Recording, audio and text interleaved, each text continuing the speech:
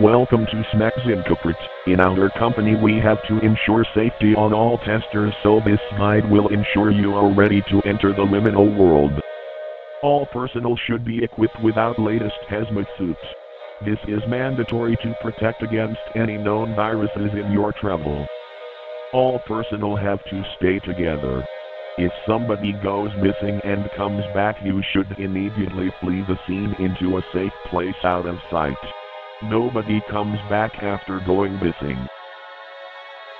The final and most crucial step, stay calm your entire journey. Levels can change based on your anxiety which monsters can take advantage of. Before you enter, I must warn that there is no escape.